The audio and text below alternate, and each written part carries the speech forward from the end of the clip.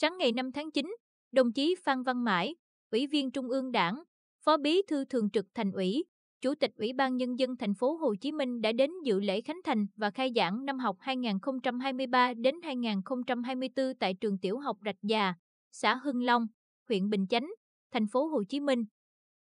Trao đổi với lãnh đạo huyện Bình Chánh, Chủ tịch Ủy ban Nhân dân thành phố Hồ Chí Minh Phan Văn Mãi ghi nhận những nỗ lực của huyện trong việc xây dựng mới trường tiểu học Rạch Già.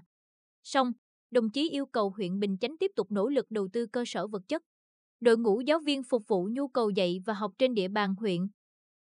Chủ tịch Ủy ban Nhân dân thành phố Hồ Chí Minh thông tin thêm, thành phố sẽ nghiên cứu xây dựng các trường học giải chiến tại một số khu vực dân cư đông nhưng số lượng trường học chưa đáp ứng đủ nhu cầu.